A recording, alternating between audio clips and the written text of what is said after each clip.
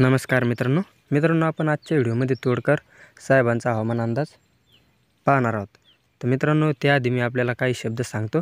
ते नीट काळजीपूर्वक ऐका. मित्रांनो आपण तोडकर साहेबांचा हवामान अंदाजाबद्दल अनेक चर्चा ऐकल्या. आणि खरं म्हणजे त्यांचे मागील अंदाज खरे ठरले व पुढील अंदाजही खरे ठरणार यात शंका नाही.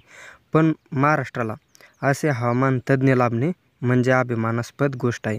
पण काही शेतकरी विरोधी लोकांमुळे तोडकर साहेब महाराष्ट्रातील अंदाज देणे काही दिवसांनी बंद करणार आहे. अशा लोकांना माझी एवढीच विनंती राहील की आपण कोणत्याही हवामान तज्ज्ञांना त्रास देऊ नका. आणि या चॅनलच्या माध्यमातून तोडकर साहेबांना देखील मनापासून कळकळीची विनंती करतो की महाराष्ट्रातील अंदाज देणे बंद करू नका.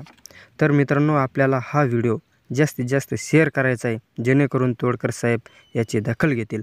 चला तर मग मित्रांनो व्हिडिओला सुरुवात करू. त्याआधी आपण जर आपल्या चॅनलला सबस्क्राईब नसेल केलं तर सबस्क्राईब करा. आणि बाजूची घंटी जरूर दाबा.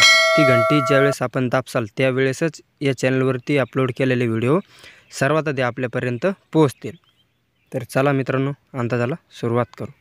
आता पुढे नवरात्रात पाऊस कसा राहील याच्याबद्दल आपण बोलणार आहोत. तर नोव्हेंबरच्या पंधरा सोळा तारखेनंतर वातावरण चांगलंच बिघडायला सुरुवात होईल.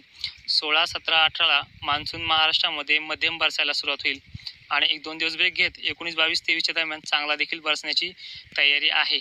आणि हा पाऊस जो आहे हा नदी नाले वाहतील का याच्याबद्दल शंका होती बरेच लोकांचे प्रश्न देखील होते ते पण आता सांगतोय. नदी नाले वाहणारा पाऊस हा कृत्रिम पावसाच्या प्रयोगावरती डिपेंड असेल. मात्र पेरणी होईल असा पाऊस हा राहील. नवरात्रामध्ये दसऱ्यापर्यंत तुम्हाला वाट बघावी लागणार आहे. कारण की गणेशोत्सवात तेच झालंय. काही काही गावांना गणेश विसर्जनाच्या दिवशी तर आदल्या दिवशी पाऊस झालाय. आणि तर काही काही गावांना एकवीस बावीसलाच पाऊस झालाय. हे तुम्ही अनुभवलं आहे. आणि पाऊस कोणत्या तीव्रतेत झालाय? जे आपण सांगितलं त्याच्यापेक्षाही चांगला झालाय.